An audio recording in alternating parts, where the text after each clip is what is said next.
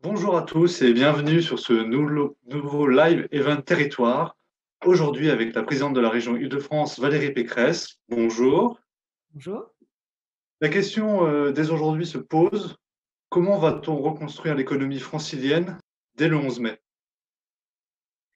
Alors d'abord, il faut savoir que le déconfinement va être progressif et en plus, il va être particulièrement compliqué en Île-de-France avec le goulet d'étranglement des transports.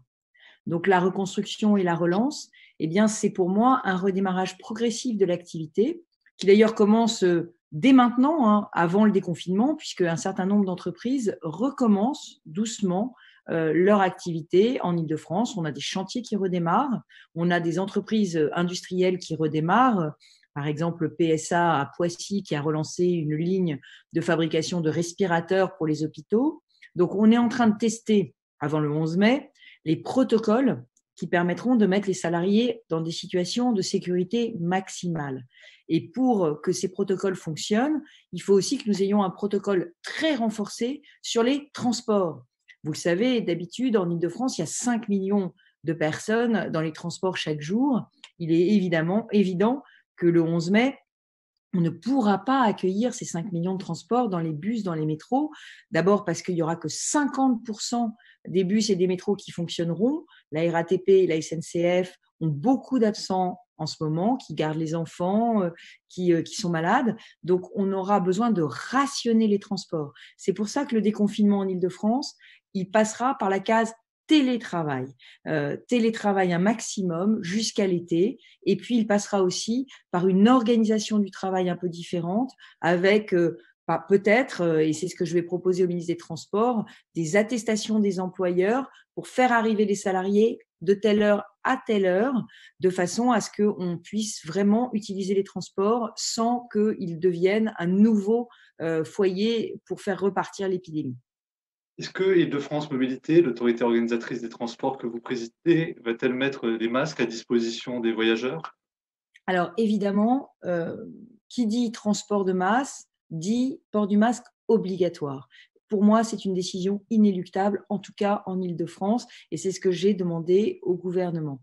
Alors le gouvernement, l'État a dit qu'il allait mettre à disposition des Français des masques. Je crois que les employeurs auront, me semble-t-il, l'obligation aussi de couvrir la période des transports pour leurs salariés, puisque, vous savez, un accident de transport, c'est un accident du travail au sens de la jurisprudence. Et quand on va travailler, on doit avoir les moyens de pouvoir euh, prendre les transports en commun. Donc, je pense que les employeurs devront aussi fournir des masques. Et s'il reste des besoins non couverts, eh bien, la région répondra présente, comme elle l'a fait depuis le début de cette crise. Vous savez, nous avons déjà distribué plus de 15 millions de masques région euh, nous les avons distribués aux soignants, aux hôpitaux, aux EHPAD, aux communes, aux départements. Et là, en ce moment, nous sommes en train d'équiper petit à petit toutes les fonctions essentielles euh, du pays, les PME, les TPE, euh, les artisans, les commerçants, les policiers, les, gardiens, les gardiens de prison, les pompes funèbres. Et puis, nous avons fait aussi une très, très grosse opération donc vous avez peut-être entendu parler cette semaine, 1000 euh, masques par pharmacie, 3 millions et demi de masques distribués pour que chaque malade, chaque personne fragile qui a une ordonnance puisse se procurer un masque dans sa pharmacie. C'est des dons de la région, ils sont gratuits euh, et nous essayons de couvrir au maximum la population. Donc pas de masques distribués dans les gares ou à l'entrée des stations de métro, mais dans, à disponibilité à travers différents points de relais. Ah bah si, si, pour l'instant, euh, il n'y a pas de masque distribué dans les stations de métro, mais je pense que le jour où on réouvre les métros vraiment, le jour du déconfinement, le 11 mai, il faut que l'État se mette en situation de distribuer ces masques à la population, parce que si on a des masques obligatoires dans les transports, il faudra que toute la population puisse s'en procurer. Anne Hidalgo a proposé dans le JDD euh, donc dimanche d'ouvrir des boulevards urbains euh, en pistes cyclables. Elle voulait en parler avec vous. Où en sont les discussions entre vous? Alors, moi, je vais réunir euh, cet après-midi toutes les associations d'Île-de-France qui, euh, ont monté un, grand collectif vélo qui s'appelle RER e Vélo. Donc, on va se réunir en, en, conférence téléphonique et on va regarder ensemble, avec une carte, tout ce qu'on peut améliorer dans le réseau cyclable d'Île-de-France. Parce qu'aujourd'hui, effectivement, si les franciliens euh, ne souhaitent pas se remettre dans le réseau de transport, et je le redis, Il faut économiser au maximum les transports. Il faut que ceux qui sont dans le métro soient ceux qui n'ont pas d'autre option. Donc, moi, j'incite effectivement ceux qui ont des courts trajets, soit à marcher, soit à faire du vélo. Donc, on va regarder avec le collectif RER Vélo tout ce qu'on peut faire en piste cyclable provisoire pour améliorer la circulation à vélo, rassurer les cyclistes. L'objectif euh, qu'on peut se donner, c'est vous, on a aujourd'hui 400 000 cyclistes chaque jour en Ile-de-France qui vont au travail. On pourrait se donner comme objectif, comme il fait beau, comme c'est le printemps, euh, et bien d'arriver peut-être à 800 000 cyclistes. Donc oui, le vélo sera une alternative au transport en commun. Oui, il faut sécuriser les pistes cyclables. J'y travaille avec les départements, avec les intercos, avec la ville de Paris. Plus généralement, en matière de reconstruction économique, vous avez annoncé dans les échos une stratégie industrielle de relocalisation des produits de souveraineté. Est-ce que vous pourriez nous en dire un peu plus et à quoi vous pensez notamment? La région a mis en place une aide, une aide aux PME qui peut aller jusqu'à 800 000 euros et que les entreprises peuvent trouver tous les renseignements sur le site de la région. Cette aide, on l'appelait PME Covid. C'est une aide pour toutes les entreprises qui voudraient transformer leur production pour faire face à la pandémie. Alors, ça veut dire quoi? Ben, Ça veut dire celles qui auront besoin de transformer leur outil de production pour continuer à produire dans des bonnes conditions euh, de sécurité, mais c'est aussi toute la relocalisation industrielle d'activités stratégiques comme la production de masques, de gel hydroalcoolique, de respirateurs. Euh, donc, on est en train aujourd'hui de d'aider les entreprises à se transformer. On a toute une série de projets qui sont en cours pour faire de la production de masques francilienne notamment. Les masques, vos opposants vous ont reproché beaucoup de communication politique sur le sujet, avec euh, beaucoup de tweets, de photos, de cartons logotés euh, à la région. Est-ce que vous trouvez que, comment expliquez-vous qu'il je trouve que vous en avez beaucoup fait là-dessus. Bah, je trouve que le reproche est un peu saugrenu et il vient de personnes qui connaissent pas bien le sujet. Ces masques sont des produits de santé. Ils ont un label de l'Agence régionale de santé. Et je suis responsable pénalement de tout ce qui va leur arriver. C'est-à-dire que quand je distribue un masque à quelqu'un, je dois pouvoir garantir sa traçabilité il faut que la personne qui récupère le masque sache que c'est un masque Île-de-France et c'est un label de garantie. Il peut l'utiliser, il est de bonne qualité, il va le protéger contre le Covid. Donc la traçabilité est un impératif absolu et c'est pour ça que nous sommes obligés de logoter tous les masques qui quittent la région. Je reviens à ces annonces que vous avez faites l'autre jour euh, en matière d'investissement sur des projets écologiques et numériques. Je crois que vous allez bientôt vous faire remettre aussi un rapport sur l'industrie 4.0 est-ce le but aussi, c'est de convertir l'industrie euh, à la fois à la numérisation et à la transition écologique Absolument. Nous, nous envisageons le plan de relance euh, euh, économique post-Covid en se disant qu'il faut qu'on en ressorte plus fort. C'est ce qu'on a appelé le plan résilience. Le plan résilience, ça veut dire qu'il va falloir qu'on identifie tous les secteurs dans lesquels il faut qu'on aille plus fort, plus haut, plus loin. Notre système de santé, c'est clair santé, mais la digitalisation et l'écologie. La digitalisation, parce qu'on voit bien qu'il va falloir continuer à télétravailler massivement. Donc, ça veut dire que toute l'organisation du travail des entreprises devra être revue et que finalement, ce télétravail pour lequel je plaide depuis euh, des mois, des années, que j'ai organisé à la région Île-de-France, il va devenir une vraie réalité dans la vie de toutes les entreprises franciliennes et de toutes les administrations. C'est aussi très important parce que les administrations, notamment les administrations de l'État, ont du retard euh, dans la euh, dématérialisation de leurs procédures. Donc télétravail, digitalisation, téléenseignement aussi, puisqu'on a bien vu que la continuité pédagogique pendant le virus, eh bien, elle se faisait grâce à des ordinateurs, grâce euh, à des, des téléconférences. Donc moi, ce que je souhaite, c'est que dès la rentrée prochaine, tous les élèves des lycées franciliens qui rentreront en seconde soient équipés d'un ordinateur. L'année dernière, on avait testé le, testé le 100% numérique, on avait équipé seulement 50% des élèves. Eh bien aujourd'hui, malheureusement, j'ai 50% de mes élèves qui n'ont pas forcément de solution numérique. Donc ça, ça me rend euh, malade pour eux. Donc l'année prochaine, eh bien, ce sera du 100% d'équipement. On considère qu'aujourd'hui, l'ordinateur, c'est comme un manuel scolaire, ça va avec. Donc beaucoup de digitalisation, beaucoup d'écologie. Beaucoup d'écologie parce que puisqu'il va falloir redémarrer, puisque beaucoup d'entreprises vont devoir euh, fermer leurs portes et d'autres se créer, eh bien, il faut qu'on incite à créer les entreprises qui vont apporter un plus écologique. Et donc, il y aura un budget participatif régional écologique que nous mettrons en place dès euh, la fin du confinement. Et l'idée, c'est vraiment de porter des investissements écologiques et que la relance eh se fasse à partir d'une ambition écologique. Et comment fonctionnera ce budget participatif concrètement? Alors concrètement, euh, nous allons ouvrir euh, donc un, site qui permettra à la fois aux collectivités, mais aussi aux citoyens, mais aussi aux entreprises, de déposer des projets, des projets d'investissement qui auront un impact écologique, soit dans les transports, soit dans le logement, soit dans l'alimentation, euh, soit euh, dans les paysages, le verdissement, la biodiversité. Et donc, ce, budget participatif écologique sera un des outils très puissants de la relance, de la relance verte de l'Île-de-France. D'accord. Et pour le télétravail, pour le lissage des heures de pointe, donc dans l'utilisation des transports, est-ce que vous allez aussi euh, prendre rendez-vous avec le, patronat, les syndicats la fonction privée, fonction publique, pour organiser tout cela ou comment ça concrètement? Absolument. Toutes les semaines, nous avons une réunion avec toutes les différentes branches professionnelles euh, de la région, euh, et les CPME, les CCI, le MEDEF, euh, les CMA. L'objectif, c'est d'abord de les aider à s'équiper.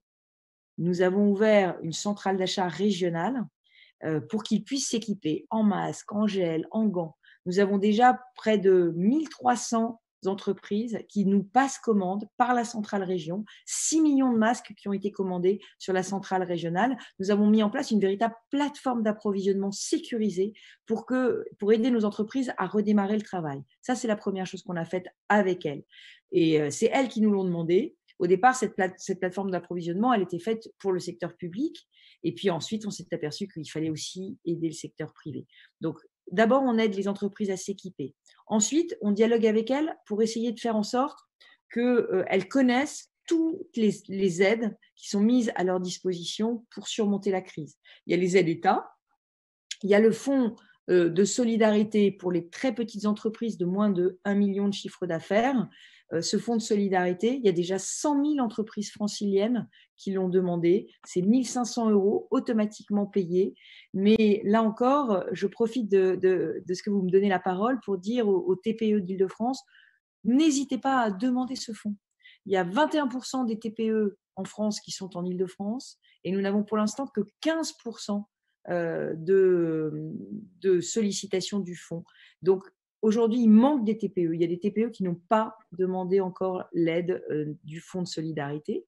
Et puis, au-dessus, il y a une deuxième tranche, 5 000 euros d'aide instruite par la région pour les TPE qui seraient prioritaires.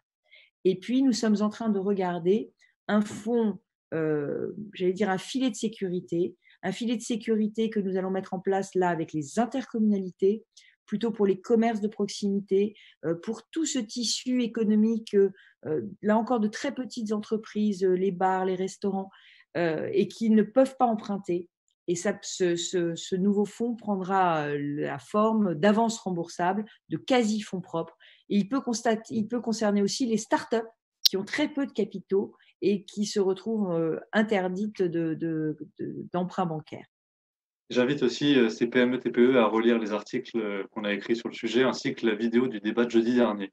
Absolument. Euh, Alexandra Dublanche, ma vice-présidente économique, connaît par cœur tous les sujets. Il y a un numéro unique 01 53 85 53 85 et une adresse Covid-19-aide aux entreprises tout au pluriel, aide au pluriel, entreprise au pluriel, at ildefrance.fr. Et sur cette adresse-là, euh, Covid-19-aide aux entreprises à ildefrance.fr, vous pouvez trouver toutes les aides de la région. Dans le BTP, il y a beaucoup de PME-TPE. Ce secteur dépend beaucoup de la commande publique et aujourd'hui, dans l'attente d'installation des conseils municipaux, voire des intercommunalités, qu'est-ce qu'on peut faire euh, pour les aider aujourd'hui? Alors, nous, euh, nous sommes évidemment très concernés par ce sujet, l'Île-de-France, puisque vous savez, le redémarrage de l'économie francilienne passera par le redémarrage des chantiers. Et puis le confinement a mis en évidence la situation des mal logés, donc la, nécessité de construire encore davantage de logements en Île-de-France. Donc il faut que le, le bâtiment redémarre. Donc pour cela, nous aidons les entreprises à s'équiper, je l'ai dit, mais c'est vrai que moi aussi, je suis très inquiète euh, de euh, quand est-ce qu'on aura des maires installés. Alors, il y a les maires qui ont été élus déjà, et puis il y a la question du deuxième tour des municipales qui, pour moi, doit avoir lieu dès que ce sera possible sanitairement, parce que, vous le savez, un maire en campagne ne fait pas de travaux dans sa ville. Et donc, si on repousse les municipales, on repousse évidemment tous les projets de construction, de logement, de bureaux qui sont pourtant si importants pour l'île de France l'Île-de-France qui s'est mise en ordre de marche pour faire redémarrer les chantiers dès le lendemain des municipales avec, euh, euh, l'établissement public foncier d'Île-de-France qui est dans les starting blocks. Paris Aménagement est déjà euh, en train de relancer des chantiers? Alors, pour l'instant, nous sommes en train de vérifier avec toutes les entreprises du bâtiment les protocoles de reprise euh, des chantiers de façon à nous assurer que la santé des travailleurs euh, est, assurée dans de bonnes conditions. Mais oui, les chantiers commencent petit à petit à démarrer, euh, les chantiers de prolongement des lignes de métro, les chantiers, les chantiers d'aménagement. Plus généralement, est-ce qu'il faudra travailler davantage? Comme l'a appelé de ses voeux le président euh, du MEDEF, relayé par euh, le président du MEDEF Île-de-France vendredi dernier dans nos colonnes, ou est-ce que c'est un débat de fou, comme dirait euh, votre camarade Xavier Bertrand? Bah, Je pense que c'est un petit peu maladroit de, de parler d'augmentation du temps de travail, alors qu'on voit bien que nous allons faire face à un chômage de masse, à beaucoup de faillites d'entreprises, à des secteurs qui vont être entièrement sinistrés et dans lesquels on va devoir sans doute reconvertir des salariés euh, vers des secteurs qui auront besoin de main-d'œuvre.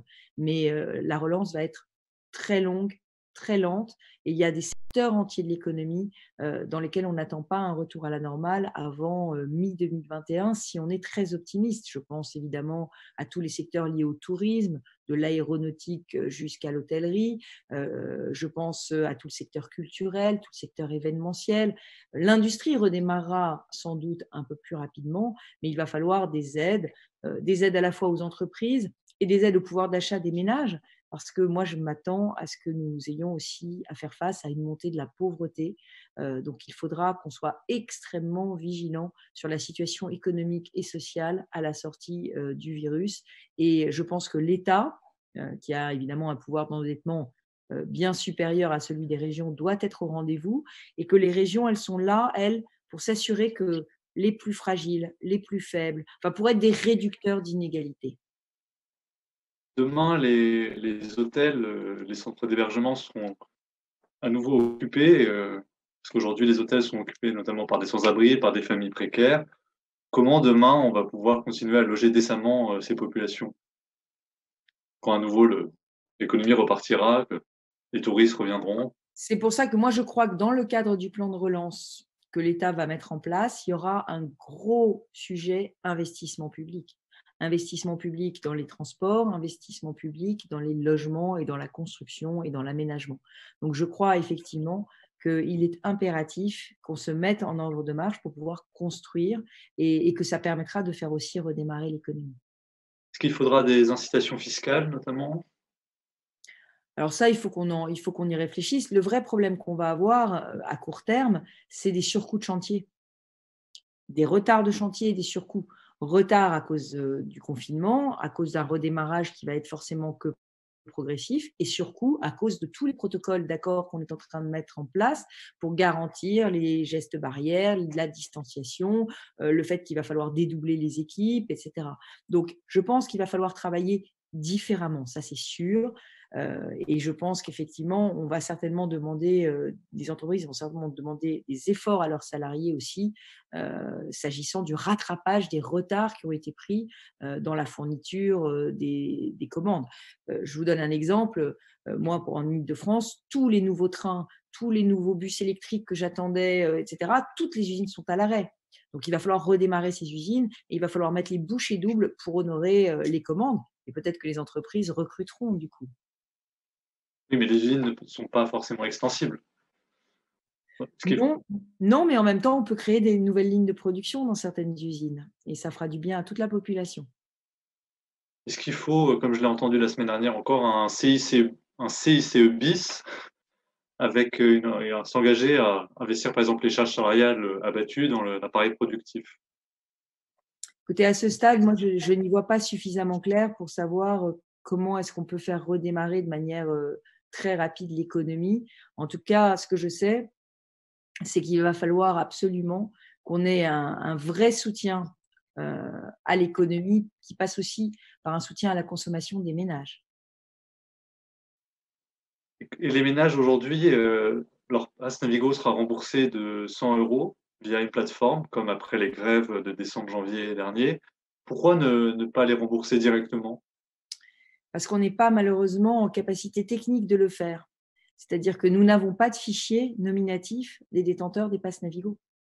Euh, et donc, à partir du moment où nous n'avons pas ce fichier, parce que ceux qui gèrent la billettique, c'est une joint venture entre la SNCF et la RATP, et les, passes Navigo mensuels ne sont pas nominatifs. Donc, on n'a pas, pas les noms des personnes, donc on ne peut pas leur adresser directement par virement euh, le remboursement. J'aimerais bien qu'on puisse le faire. D'ailleurs, c'est peut-être une réflexion qu'il faudra avoir. Pourquoi est-ce qu'on est obligé à chaque fois euh, C'était exceptionnel dans le passé, mais là, ça commence à être récurrent. Pourquoi est-ce qu'on est obligé à chaque fois qu'il y a un problème de créer une plateforme informatique avec des délais de développement informatique qui sont horriblement longs? La SNCF nous demande plus d'un mois pour développer, euh, un mois et demi pour développer cette plateforme de remboursement. Donc, est-ce qu'on pourrait pas tout simplifier, peut-être régionaliser la billettique et permettre à Île-de-France Mobilité d'avoir un fichier et de pouvoir du coup euh, dialoguer directement avec les détenteurs de Pass Navigo, pouvoir leur offrir davantage de services. En tout cas, moi, c'est vraiment une réflexion que je pense qu'il faut mener. C'est voilà, les, les, franciliens ne comprennent pas tous ces délais, euh, toutes ces euh, toutes ces complexités qui viennent en fait du, simple fait que on n'a pas un dialogue direct, l'autorité organisatrice, avec les abonnés. Vous avez parlé de régionaliser la billettique. Est-ce que demain, donc, il faudra aller vers plus de décentralisation, même ah, si on a vu qu'aux États-Unis, on... vous m'entendez? Je, vous ai récupéré, oui. Je disais, comme vous parlez de régionaliser la billettique, est-ce que demain, il faudra aller vers plus de décentralisation, même si on en a vu aussi les effets pervers aux États-Unis ou en Allemagne, où les décisions les, dans le confinement variaient d'un État à l'autre? Alors, pardon de vous dire qu'en Allemagne, ça a formidablement bien marché, la décentralisation. Ça a formidablement bien marché. Euh, sur le confinement. Euh, ah bah, oui, mais ils ont quand même euh, beaucoup, beaucoup, beaucoup moins de victimes que nous. Ils ont été beaucoup plus organisés. Ils ont accepté la différenciation régionale. Et cette différenciation me semble aller, j'allais dire, d'elle-même aujourd'hui en France. Pourquoi interdire à un restaurant dans la Creuse, dans lequel il n'y a pratiquement pas de personnes contaminées, dans lequel euh, les habitants se déplacent en voiture, de réouvrir. En Ile-de-France, c'est beaucoup plus compliqué parce que nous sommes, nous sommes dans une région très urbaine dans laquelle il y a des grandes concentrations de population et ces concentrations de population, elles sont euh, contaminantes et on l'a bien vu. Donc, je pense que la régionalisation de la réponse à la, à la crise et la régionalisation du déconfinement sont impératives. Et elles sont d'ailleurs naturelles. Et ça va se faire de manière différente selon les régions. Je crois que notre État centralisateur, euh, notre État jacobin n'a pas l'habitude de raisonner au niveau euh, régional. Et pourtant, je pense que ça aurait été beaucoup plus efficace s'il l'avait fait tout au long de la crise, comme ça a été fait en Allemagne avec une Angela Merkel qui a tout co-décidé avec les landers et en fonction de la situation de chacun. Parce que les situations sont différentes et que des situations différentes appellent des réponses différentes. C'est pas l'égalité, c'est l'équité. Et ce principe euh, c'est une égalité pragmatique, une égalité effective, l'égalité réelle. Voilà. Est-ce qu'en Ile-de-France même, on ne pourrait pas simplifier tout ça?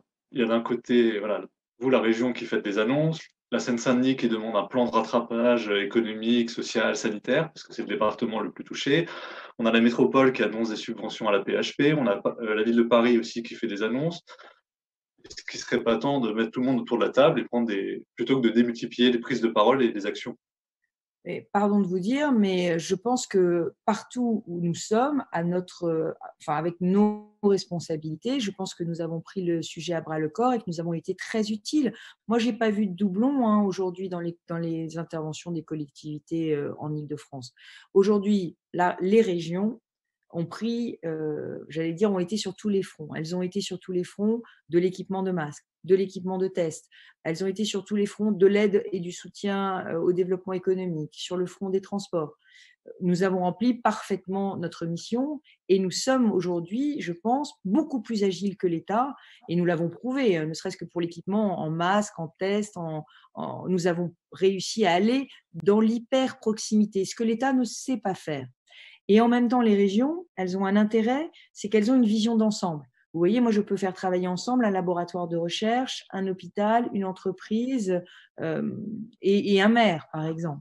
Puisque, pour, gérer la crise, j'ai créé un WhatsApp avec tous les maires d'Île-de-France. J'ai créé un autre WhatsApp avec tous les départements. Et on est en permanence en dialogue. J'ai pas du tout l'impression qu'on se soit marché sur les pieds dans cette crise. J'ai eu plutôt l'impression que toutes les initiatives en Ile-de-France allaient dans le bon sens. Oui, il faut un plan supplémentaire pour la Seine-Saint-Denis. C'est le département le plus touché et, le département a raison de pousser un cri d'alarme. D'ailleurs, euh, la région a alimenté un fonds de 700 000 masques supplémentaires pour la Seine-Saint-Denis parce que les hôpitaux de Seine-Saint-Denis sont les plus pauvres et qu'il fallait les équiper euh, davantage. Donc moi, j'ai le sentiment que la décentralisation a très bien fonctionné, mais qu'elle pourrait aller plus loin, que les régions pourraient s'investir davantage dans la santé, moi j'y suis prête, que les régions pourraient s'investir encore davantage dans euh, l'aide au développement économique et la formation des chômeurs. Moi, je suis prête aussi à la régionalisation de Pôle Emploi.